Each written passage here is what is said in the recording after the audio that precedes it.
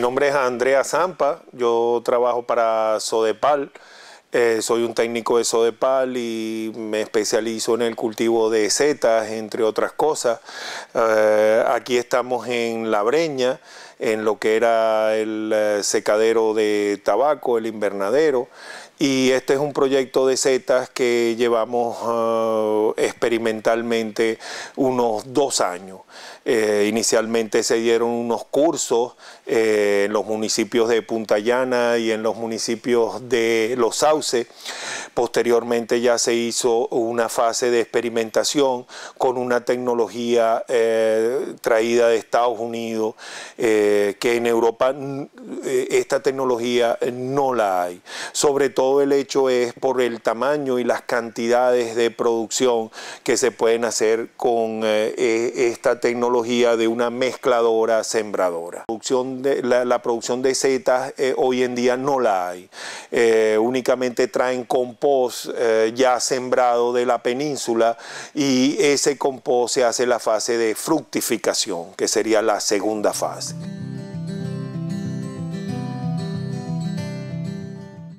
este tipo de tecnología, que es mm, una eh, mezcladora la cual se alimenta con paja triturada de diferentes tipos de mezclas y paja. En nuestro caso estamos usando paja de trigo, esto es un prototipo eh, del equipo, el cual tiene un sistema de aspas eh, internas donde se añade la paja triturada, el agua y después eh, se pausteriza con vapor. anteriormente habían visto unas tomas de la caldera que alimenta este equipo. Una vez que, que se alimenta de vapor, que se alcanza la temperatura de 90 grados centígrados, se mantiene durante una hora el producto a esa temperatura. Alcanzada, alcanzada la hora de tiempo, ya se enfría nuestro compost para después sembrar. Una vez que la temperatura llegue aproximadamente a 24 grados centígrados, que es la ideal, se eh, introduce la semilla, que viene siendo micelio, de, en este caso de pleurotus, se introduce de una forma estéril por la parte superior de la máquina. Una vez que la semilla se introduce, eh, es mezclada por algunos minutos y eh, sale el producto de la parte, de, la parte eh, inferior del equipo y cae directamente en las bolsas que van a ver en la incubación. En este proyecto de cultivos de, de setas, Pleurotus ostreatus en, la isla eh, de La Palma, eh, se estipula eh, hacer la fase de incubación después de la siembra que estuvimos hablando, hacer la fase de incubación en este invernadero. La fase de incubación consiste en mantener eh, los sacos a una temperatura de 24 grados ambiente eh, durante un tiempo aproximado de 20 días.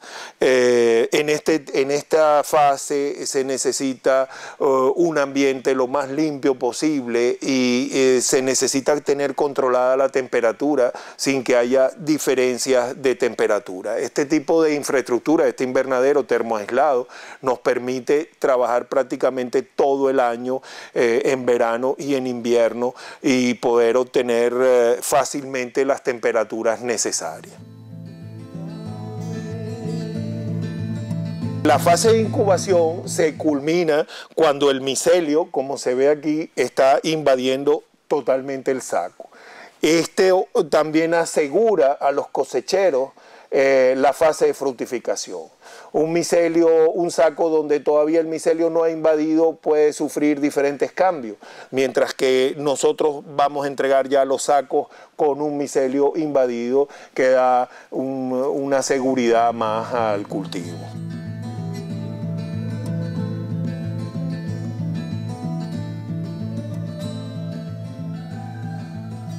Hemos obtenido resultados desde Garafía, eh, Barlovento, Los Llanos, bueno, El Paso y, aquí en Breña Alta, eh, obteniendo resultados satisfactorios.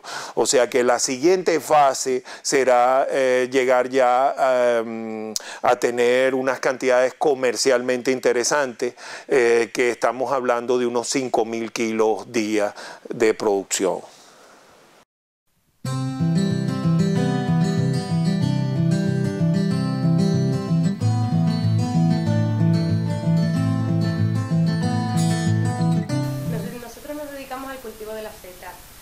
Acondicionado local, puesto las estructuras para poder colgar los sacos a una distancia más o menos que las setas puedan crecer.